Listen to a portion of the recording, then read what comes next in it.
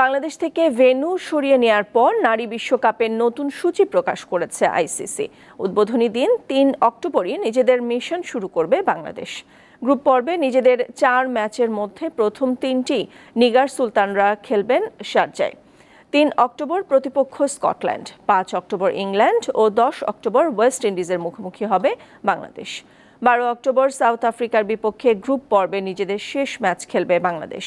পাঁচ অক্টোবর শারজায় শ্রীলঙ্কার বিপক্ষে মাঠে নামবে বর্তমান চ্যাম্পিয়ন অস্ট্রেলিয়া।